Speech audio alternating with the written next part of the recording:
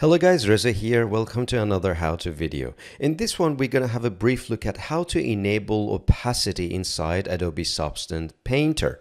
The reason that you would like to have opacity is because you may have transmissive objects, glassy objects, and you would like to make use of it, add roughness on it, and export it as a map inside your preferred 3D application. So let's see how we can enable opacity inside Adobe Substance Painter.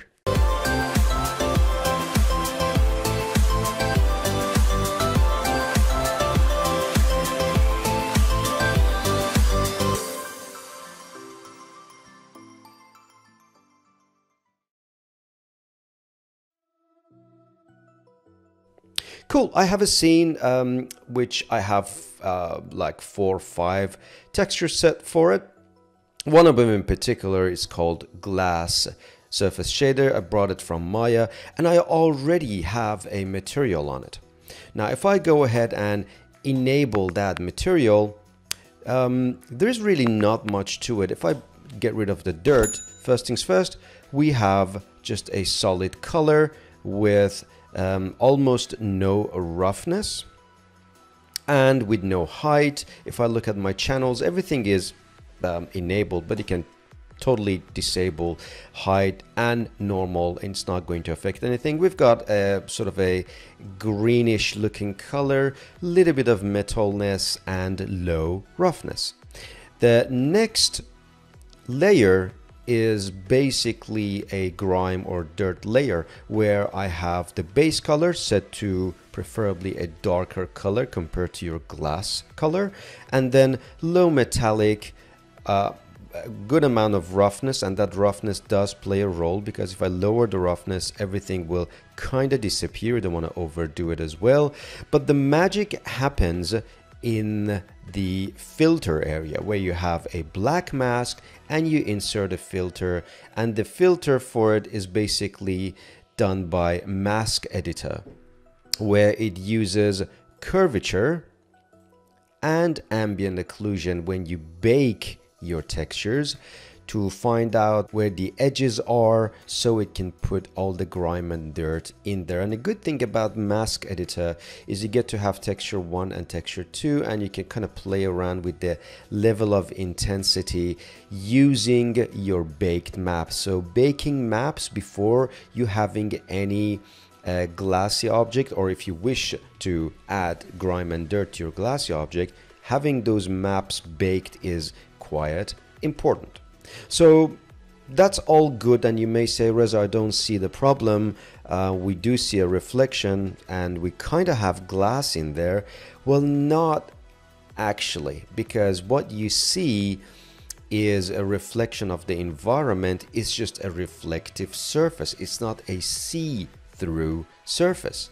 So it becomes uh, clear where I actually select one of these layers and you can see there is no opacity channel. You can play around with color, metal, roughness, so on and so forth, but there is no opacity in here. You may say, well, why don't we add that as a channel? Well, if you were to go ahead in your texture set settings and scroll all the way down into channel, opacity is not even here. So you got to be very careful um, what exactly you would like to do. If I go to um, display settings and go to my environment map and bring up the map a little bit, bring up the opacity, I cannot see the background. All I'm looking at is the reflection of what is in front of this reflective surface. So this is not a see-through object at the moment. Now, that's the whole purpose behind this tutorial how to add opacity channel how to introduce opacity channel. In order to address this issue we need to look into what shader we're using in general via our shader settings.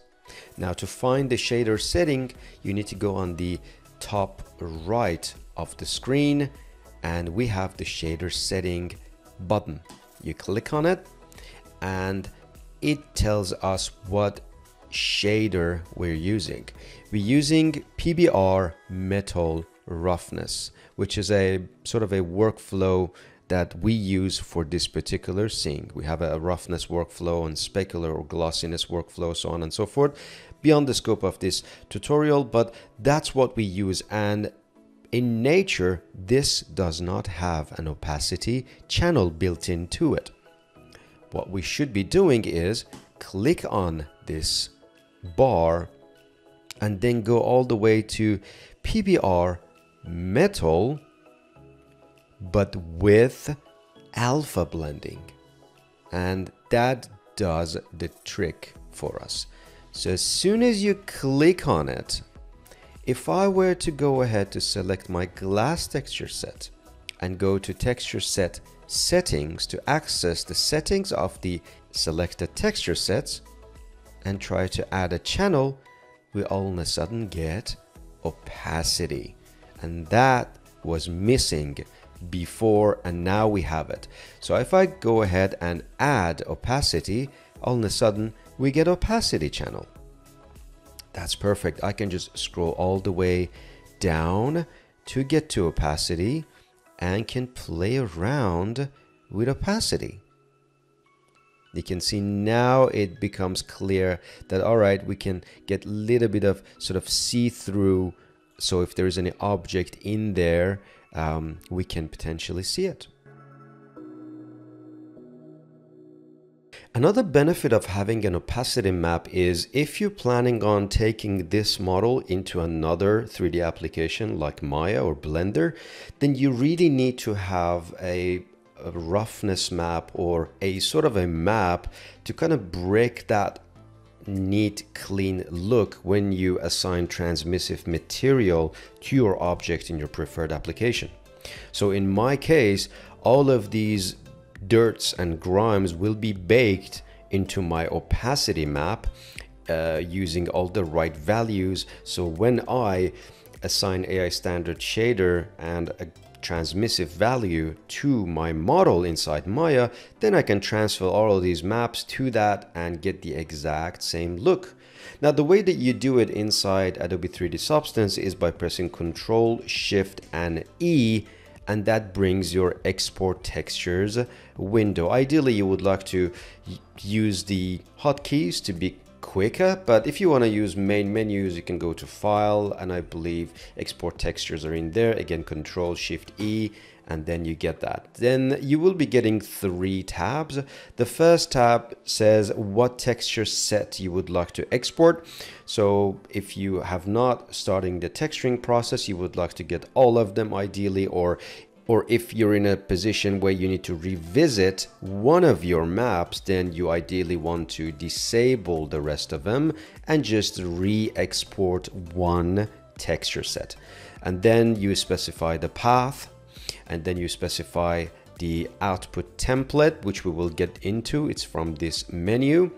Um, what size, and this size is based on your texture set, but you can increase that. So I baked my texture maps in 2K. You can have that in 4K. So that's that. And then you go and export your maps. Next is output template, where if you're using a very specific render engine, then you can kind of select that and get all the right channels out.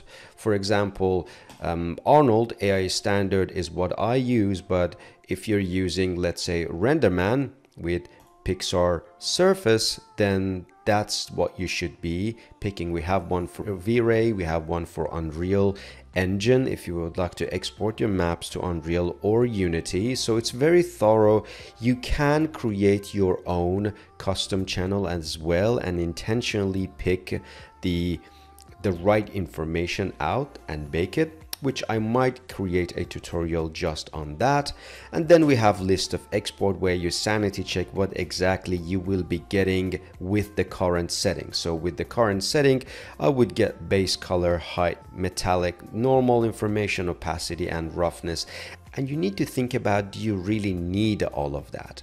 So if you think that, for example, you really don't need to have the base color, then you probably can go to the texture set and you go to layer to the default glass layer and say, you know what, I'm going to take care of the color information inside my preferred 3D application. Just don't bring any color and you just focus on the information that you need to export to your preferred 3D application. Hopefully it makes sense. All right, that should do the trick for this tutorial. I hope you found this tutorial useful and use it in your projects. I try to kind of keep it short so you get to the point really quick. Until the next video, see you guys soon.